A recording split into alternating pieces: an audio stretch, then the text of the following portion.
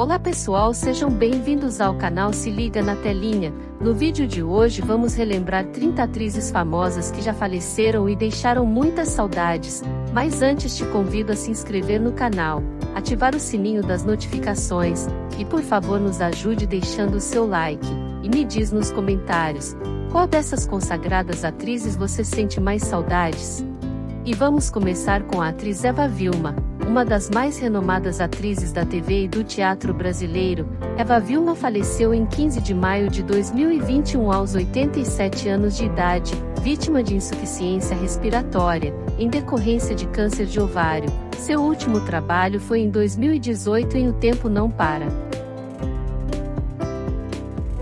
Tônia Carreiro. Ela foi musa dos anos 60 e 70 da TV brasileira. Tônia faleceu em 3 de março de 2018 aos 95 anos, vítima de parada cardíaca. Seu último trabalho na TV foi uma participação especial na novela Senhora do Destino em 2004.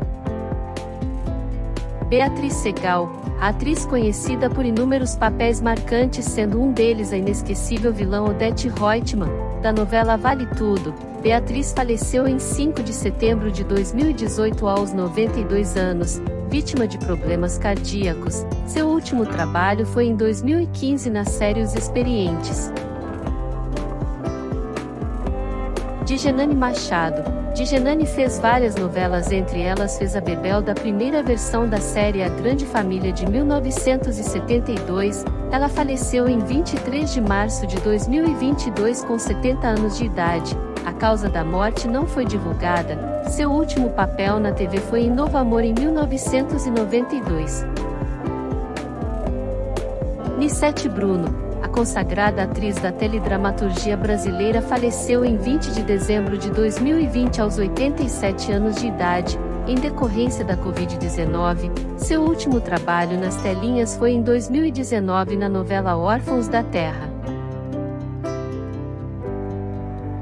Ioná Magalhães, considerada a musa na TV brasileira nos anos 60 e 70, Ioná Magalhães faleceu em 20 de outubro de 2015 aos 80 anos, vítima de insuficiência cardíaca. O último trabalho da atriz na TV foi em 2013 na novela Sangue Bom. Marilu Bueno, a atriz que fez vários papéis nas novelas faleceu em 22 de junho de 2022 aos 82 anos de idade, após complicações no pós-operatório de uma cirurgia no abdômen. Seu último trabalho na TV foi na novela Salve-se Quem Puder no ano de 2020. Mila Moreira, atriz e também modelo, Mila Moreira faleceu em 6 de dezembro de 2021 aos 75 anos de idade, vítima de parada cardíaca. O último trabalho da atriz na televisão foi no ano de 2016 na novela A Lei do Amor na TV Globo. Beth Lago, atriz modelo e apresentadora, Beth Lago faleceu em 13 de setembro de 2015 aos 60 anos de idade, vítima de câncer na vesícula. Seu último trabalho na televisão foi na novela Pecado Mortal em 2012 na Record TV. Marília Pera, a consagrada atriz da teledramaturgia brasileira, fez diversos trabalhos em teatro, cinema e televisão, ela faleceu em 5 de dezembro de 2015 aos 72 anos de idade, vítima de câncer no pulmão. Seu último trabalho nas telinhas foi no seriado da TV Globo Pé na Cova. Susana Faini, a veterana atriz fez sucesso nos teatros e na TV brasileira. Ela faleceu em 25 de abril de 2022 aos 89 anos, em decorrência de complicações causadas pela doença de Parkinson. Seu último trabalho nas telinhas foi em 2013 em Espelho da Vida. Ilka Soares foi uma das mulheres mais belas do Brasil dos anos 50 e 60. A atriz faleceu em 18 de junho de 2022 aos 89 anos de idade, vítima de câncer de pulmão. Último trabalho foi na novela Cobras e Lagartos no ano de 2006 na TV Globo. Maramanza, a atriz faleceu em 13 de novembro de 2009 aos 57 anos de idade, vítima de metástase, devido ao câncer de pulmão. Maramanzan fez sua última atuação na novela Caminho das Índias em 2009 na TV Globo. Françoise Forton, filha de francês e de uma brasileira, a atriz interpretou diversos papéis nas telinhas. Françoise faleceu em 16 de janeiro de 2022 aos 64 anos, vitimada por um câncer. A atriz fez sua última atuação na TV em 2019 em Amor Sem Igual. Chica Xavier. Chica Xavier atuou no Teatro Nacional por mais de 60 anos. A atriz faleceu em 8 de agosto de 2020 aos 88 anos de idade, vítima de câncer no pulmão. Seu último trabalho na televisão foi na novela Cheias de Charme em 2012. Se está gostando do vídeo por favor deixe o seu like e se inscreva no canal. E não esqueça de me contar nos comentários qual dessas consagradas atrizes você sente mais saudades, e me fala de qual cidade você nos assiste. Aricle Pérez, atriz faleceu em 26 de março de 2006 aos 62 anos de idade, ela caiu da janela do apartamento em que morava até hoje a causa da sua morte é desconhecida publicamente, e acredita-se na hipótese de suicídio. Sua última atuação foi na minissérie JK.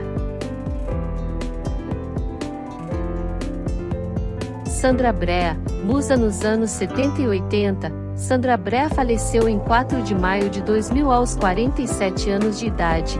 A atriz era soro positivo do HIV, mas faleceu vítima de câncer de pulmão, ela fez sua última atuação em 1997 na novela Zazá. Daisy a atriz faleceu em 7 de maio de 2020 aos 90 anos de idade, vítima de pneumonia em decorrência da Covid-19. Sua última atuação na televisão foi em Geração Brasil da TV Globo no ano de 2014. Sônia Guedes, atriz que atuou em novelas, teatros e cinemas, faleceu vítima de câncer em 3 de junho de 2019 aos 86 anos de idade. Seu último trabalho na televisão foi na novela Chiquititas em 2013 no SBT. Lilian Lemertes foi uma premiada atriz brasileira com uma carreira em teatro, cinemas e televisão. Ela faleceu em 5 de junho de 1986 aos 48 anos, vítima de infarte agudo do miocárdio. Seu último trabalho na TV foi no especial Nego Léo. Leila Lopes, musa nos anos 90, Leila Lopes fez novelas como Despedida de Solteiro, Renascer e Rei do Gado. Infelizmente, ela tirou a própria vida em 3 de dezembro de 2009 aos 50 anos de idade. Seu último trabalho na TV foi em 2001 em Marcas da Paixão.